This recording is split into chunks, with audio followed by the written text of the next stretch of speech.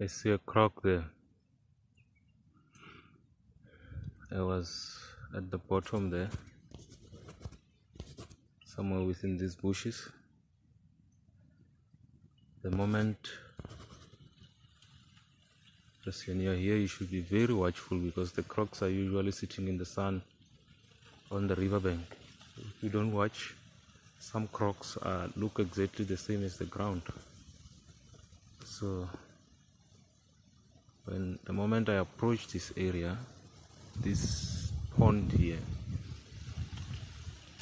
that croc was sitting there on top, there, there, just above its head there, in the sun, because they like the sun. So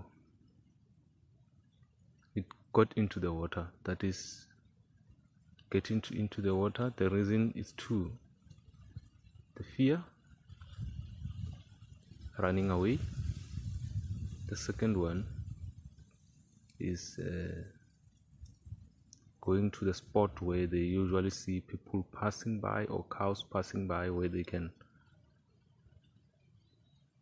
grab grab them the best spot where they know that when i'm here and this person is passing here i can do something they usually would hit the water with its tail so that you get mesmerized and fall into the water then you become its food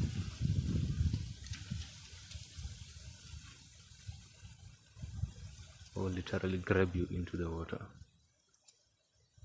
So one must be watchful. So immediately when i saw it i only saw the tail when it went inside. Actually saw me before i saw it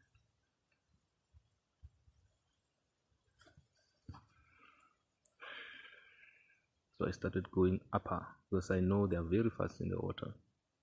Climb up. Luckily i found this spot. I'm sitting on top of the rock here.